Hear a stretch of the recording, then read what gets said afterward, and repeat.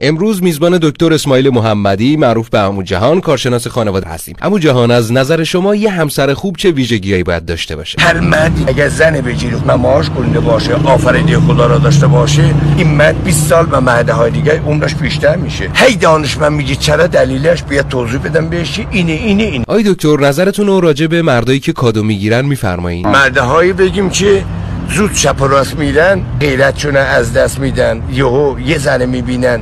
خونه به نام می‌کنه ماشین به نام می‌کنه. این تو بچه جیب چون داد این کار را می‌کنه. چرا؟ برای اینکه مرده های دیگه زیر سایه خدا آبروشو می‌برن. حیف نیست یک مرد شخصیتشو بیاره پایین به خاطر سکرم گوشو یه ماشین شاسه بلند به نامش می‌کنه. یکی از بینندگان پیام دادن که مشکل مالی ندارم ولی چند وقتی با همسرم به مشکل برخوردم.